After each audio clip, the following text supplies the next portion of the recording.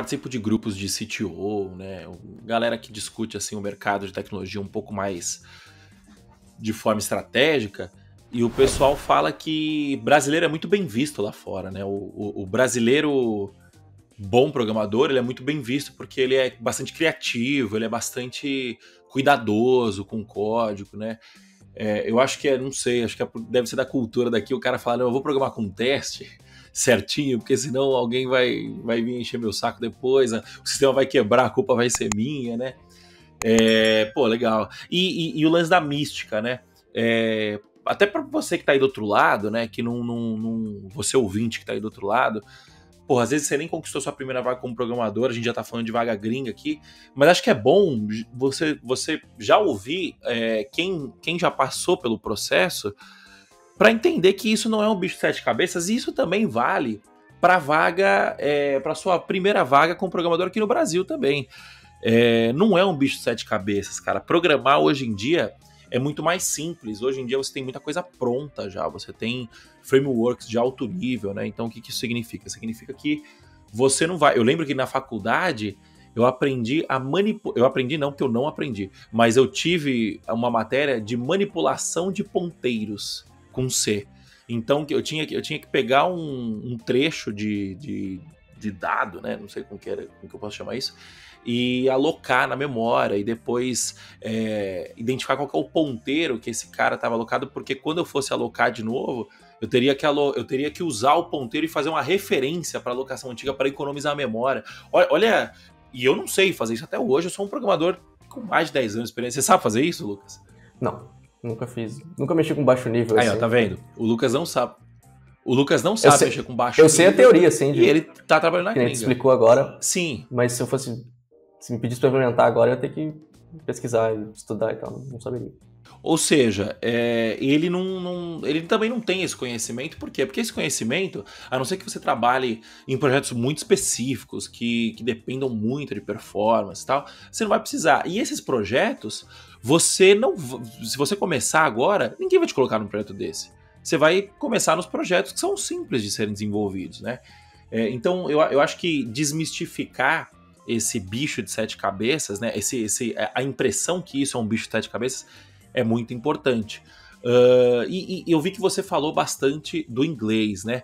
Como que você aprendeu inglês para conquistar sua primeira vaga na Eu sempre estudei inglês na escola, assim, na minha escola tive inglês desde a primeira série. E então sempre conseguia ler, assim, escrever mais ou menos, mas ler assim sempre tive sempre soube. Mas é aquele, é aquele inglês, né? Não é, não é um. É, é aquele inglês de Pelo de menos escola, na minha assim. foi aquele inglês só para só pra é. constar no currículo, né? Exato. Mas, mas ler assim eu me virava, sabia, conseguia ler. E, mas escutar, falar e escrever já era mais difícil. E daí eu, eu fiz um, um tempo atrás, faz, foi antes de começar esse processo tal da primeira vaga na gringa, eu fiz uma entrevista para ver como é que tava o inglês, assim, e tal. Era, era uma empresa daqui, do Brasil, que precisava ser... Precisava do inglês porque eles prestavam serviço para fora, alguma coisa assim. Faz tempo isso. Daí eu vi que... Dali eu fiz a entrevista e tal, daí chegou na parte do inglês, a entrevistadora pediu se podia continuar a entrevista em inglês e tal, daí eu disse, pode ser. Daí eu conversei com ela, assim, mas ela perguntou umas perguntas perguntas básicas do dia a dia, assim. Só que daí eu, meu inglês estava enferrujado, assim, para fala, não, não desenrolei muito.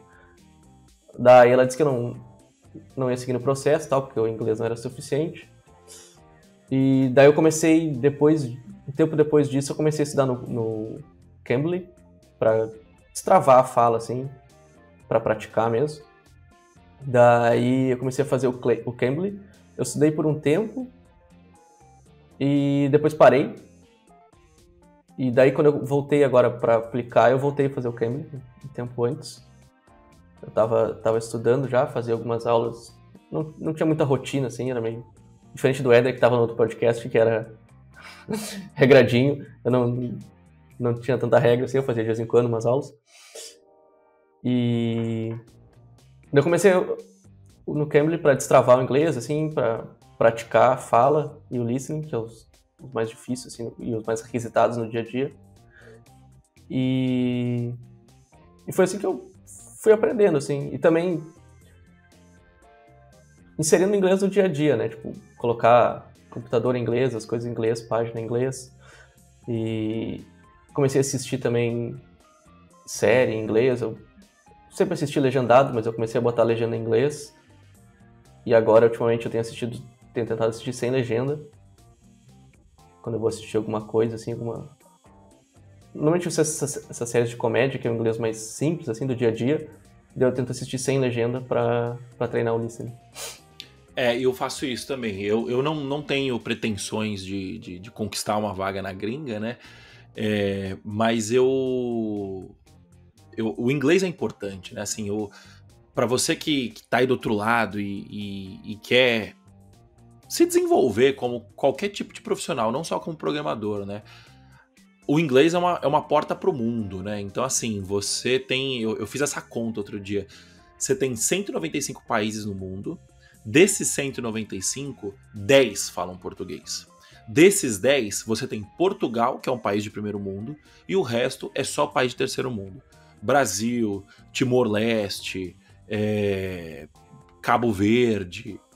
Uh... Não vou nem lembrar o nome dos outros países, mas são todos países. Moçambique, são todos países que foram colônias de Portugal. Né? Você tem Portugal e as colônias de Portugal, e não tem nenhuma colônia de Portugal que se, que, que, que se tornou um país desenvolvido. Né? O Brasil é, é um dos é, é, o mais desenvolvido dessa turma, né? mas ainda assim perante outros países como, sei lá, é, Austrália, é, Estados Unidos, esse tipo de coisa, a gente ainda é bem é, subdesenvolvido, né? E então, fazendo essa conta, né, 10 é, dividido por 195 você vai ter, se eu não me engano, acho que era 5% dos países no mundo falam português. Então, quando você só consegue consumir conteúdo em português, apesar da gente ter uma boa indústria de tradução aqui, bastante livro e tal, é, a real é que, na melhor das hipóteses, você vai demorar para ter acesso a conteúdos novos, a conhecimento novo, e na pior das hipóteses, você não vai ter acesso a esse conhecimento porque ele não vai ser traduzido. O Brasil, além de não, além de não falar inglês, ele não produz conhecimento, literatura relevante, né? É, são raros. Isso, isso eu tô falando estatisticamente, né? Obviamente que tem gente no Brasil fazendo coisa boa, obviamente que existem as exceções, mas infelizmente são exceções e não são regras. É, e, e, e até na sua rotina como programador, né? é, a grande maioria do conteúdo que a gente consome hoje em dia é inglês. Então, sei lá, eu peguei o costume, acho que todo programador tem esse costume, de quando vai fazer uma pesquisa, já faz a pesquisa em inglês, ao invés de como imprimir uma, uma variável, você vai pesquisar how to print a variable. Então, é, o, o how to, porque o how to cai no Stack Overflow já, você entendeu? É, então, assim, o inglês, se você ainda não sabe inglês e ainda não conquistou sua primeira vaga, o inglês ele não é prioritário, o inglês ele não é necessário. É, o inglês ele é um, um, plus, né? Mas você consegue conquistar a sua primeira vaga sem saber inglês. Mas, cara, conquistou a primeira vaga, dedica aí do seu tempo de estudo pelo menos uns 20, 30% para você aprender inglês. E também não é um bicho de sete cabeças aprender inglês, né? É, eu também faço a mesma coisa. Eu assisto é, Modern Family todo dia no 20 minutinhos de Modern Family em inglês com legenda em inglês. Ah, mas a legenda, mas sem legenda é melhor, tal, sei o quê. Cara, o, o que eu preciso hoje em dia é listening, que é audição e leitura. Então eu pratico os dois. É, o meu, a minha fala ainda é bem travada. Se eu, se eu fosse fazer alguma coisa, eu eu provavelmente faria uns dois, três meses de Cambly aí só para dar uma para ganhar um ritmo de jogo, digamos assim, né? Mas resumindo, o, o inglês é muito importante. Mas, dito tudo isso, o Lucas foi com o inglês, nós vai, nós vem, foi com o inglês aos trancos e barrancos lá, é, e foi contratado. Ou seja, você não. Obviamente, tem vagas que exigem a fluência, e aí não tem jeito, né? Tanto é que o Lucas não passou nessas vagas, mas tem vagas que não exigem fluência. E como a gente tá falando da primeira vaga como programador, cara, como programador na gringa, né? Qualquer uma tá valendo. Por quê? Porque a, a, a regra é a mesma. É, a gente fala aqui, Lucas, eu e o Renzo, que o, o, o, desafio, o maior desafio é você conseguir se manter um ano programando, um ano programando profissionalmente.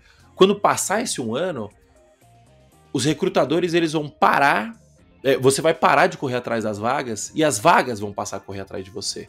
Por quê? Porque você já tem experiência, você já, já, já, já tarimbou, né? Você já cascorou, como diria o Henrique Basso, nosso amigo carioca.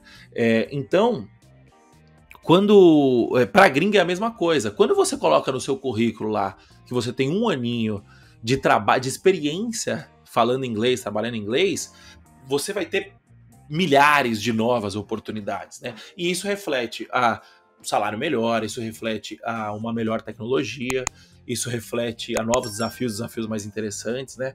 E aí eu queria voltar, né, no, no, no spoiler que você começou a dar, conta pra gente como que foi é, a sua subida de engenheiro de software para líder técnico nessa nova empresa? Eu entrei em junho na empresa, final de junho, começo de julho.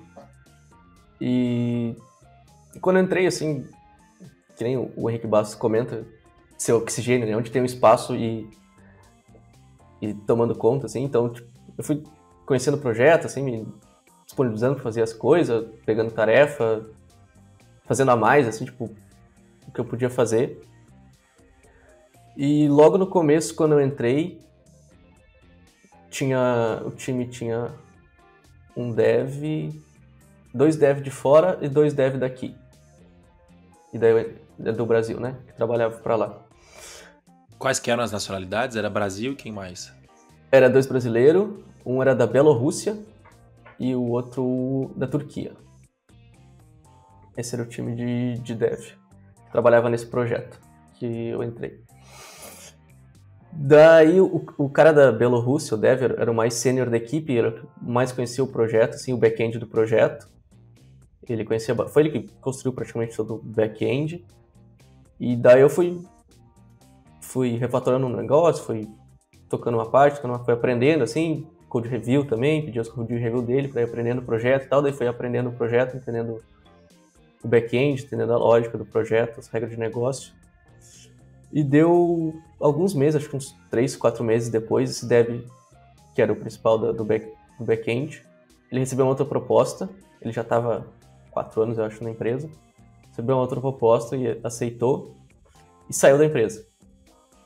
E daí como eu tinha aprendido bastante do back-end, eu me, me tornei assim o, a referência do, do back-end. Ele comecei a me tornar, né? Daí eu pegava as testes de back-end, comecei a fazer um refactor para dar uma, uma, organizada e comecei a me tornar a referência do back-end, assim, deploy, coisas, coisas fui às vezes comecei a mexer em produção, quando precisava alguma coisa, com suporte, alguma coisa, fui uh, assumindo as tarefas e as responsabilidades. E daí depois, nisso passou quatro meses. E durante esse tempo, assim, o, o nosso, eu conversei com o líder técnico na época, o líder da equipe. E eu disse que futuro, assim, eu tinha vontade de ser um líder técnico, uma, uma coisa assim, ter esse desafio para experimentar. E, e ele sempre foi muito, me ajudou muito assim nessa questão de carreira e tal, então ele começou a me dar um, umas, umas tarefas, umas, umas responsabilidades a mais, assim. E sempre apoiou bastante a equipe, o crescimento tal da equipe. E daí eu comecei a assumir as tarefas e tal. E no, depois de uns quatro meses, uns oito meses de empresa, mais ou menos, oito, nove meses, ele recebeu uma outra proposta para numa startup mais early stage e resolveu aceitar a proposta e daí ele me indicou como, como ficar no lugar dele como líder técnico. Daí eu, ele conversou comigo e tal, explicou, perguntou o que eu achava e tal, daí eu gostei da ideia e assumi como líder técnico da, da equipe. Foi isso foi final de fevereiro, começo de março. Foi na época de transição ali, a saída dele e eu assumindo. Março desse ano, né? É, 2022 agora. Se assumiu e o salário melhorou? O salário tinha melhorado antes? Como que foi essa parte do salário? É, sim, sim. Sim. Quando eu entrei, que nem eu comentei antes, eu entrei com um salário que era mais ou menos o salário que eu tinha recebido na proposta, um pouquinho abaixo, se não me engano, do salário que eu tinha recebido na proposta aqui no Brasil. E quando eu entrei eu sabia que tinha, assim, conhecendo um pouco do mercado, eu sabia que tinha um, um espaço, mas para melhorar o salário. E o meu pensamento foi entrar, mostrar serviço, mostrar minha experiência e tal, e depois renegociar isso. Daí, acho que uns quatro meses, cinco meses por aí, de empresa, eu vi uma, uma indicação de uma vaga de um amigo, daí resolvi aplicar, fazer o processo e tal. E fiz o processo, daí eu comecei, passei nas etapas do processo e tal, fui, fui bem no processo. Conversei com o, acho que era o CEO, era uma empresa que, de outsourcing, então eles iam me contratar e me botar em outros projetos. Então eu já tinha avançado bem, já tinha conversado com a, com a empresa onde eu ia trabalhar. Daí resolveram fazer uma proposta. A proposta era um pouco mais que o dobro do que eu estava recebendo no meu trabalho atual. O dobro? E... É, quase o dobro. E daí eu fui, fui conversar lá na, na empresa, eu tava, tava gostando bastante de trabalhar lá. E daí eu, daí eu disse, pá, conversei com o líder técnico, tô gostando bastante do trabalho, tô gostando bastante da empresa, da, de tudo do trabalho. Mas recebi essa outra proposta aqui que quase o dobro, é uma grande diferença. E queria ver se, se, se vocês querem fazer uma contraproposta, se conversar e tal. Daí ele ficou de conversar com o, com o CTO e com o CEO da, da empresa. Daí ele conversou com os dois no mesmo dia, assim, ele me, ele me, responde, me deu a resposta. Ele disse que estava que gostando muito do meu trabalho e tal, e que eles iam cobrir a oferta. E em 5, 6 meses de empresa eu quase dobrei o salário. E, Certo, você dobrou o salário, mas tem, tem um restinho da história aí também que é legal, que aí beleza, você, eles cobriram o salário.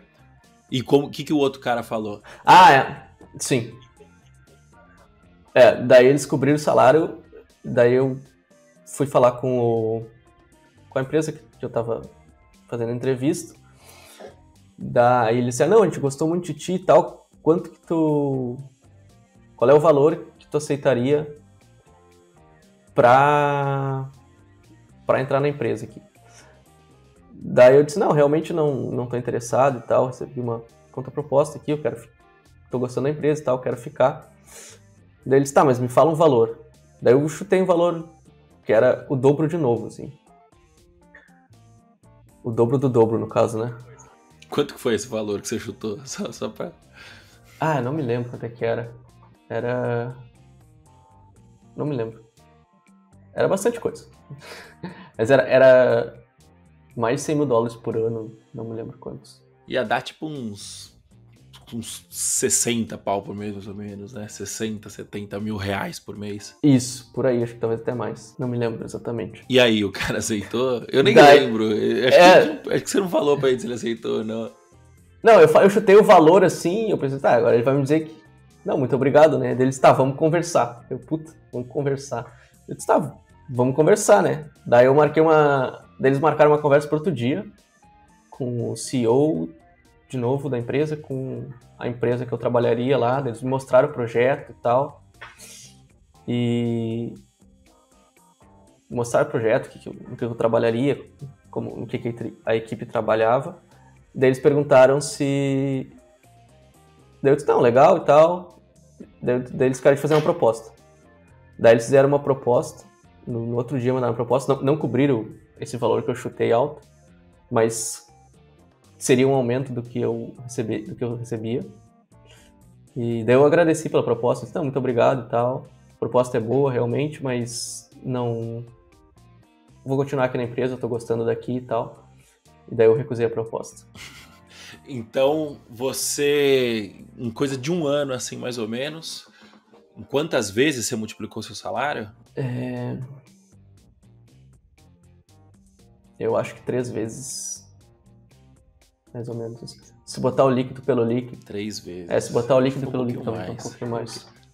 É. Eu lembro que a gente fez essa continha. É, três vezes. Então, ou seja, você ganhou. E, e assim, e, e, com potencial, né, que você recusou para subir pelo menos Sim. umas quatro vezes aí, né? Ia dar no, no, no mais ou menos. Então, olha, olha isso, né, cara? É, tem muita gente que vira e fala assim, ah, mas eu não sei se eu vou conseguir, eu não sei se. Tem gente que não acredita quando o Renzo fala, porra, é, você está falando que começa com três, quatro, que tá fácil de contratar tal.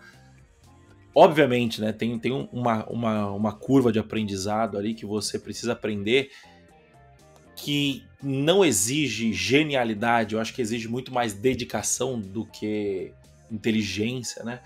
É, mas aí depois que você passa dessa, dessa arrebentação, né? A gente, a gente consegue fazer uma analogia é, com o mar, né? Você está colocando um barco na água, a, a onda vai te jogar de volta, né? Mas aí você precisa ir forçando, forçando, forçando, até que você vai quebrar, você vai passar da arrebentação, o mar fica calmo. Quando o mar fica calmo, aí é só ir para frente, que o mar vai te puxar. O mar vai te puxar você vai indo para frente. A analogia da programação, é, a, o mercado de programação é a mesma coisa. Você passou desses primeiros anos ali, desses primeiros dois, três anos ali que você é, tá aprendendo, que você tá, tá recebendo para aprender, né? Dica de passagem, mas também tá aprendendo, tá se desenvolvendo como programador. Dali para frente é só para cima, entendeu? E, e para cima não tem limite.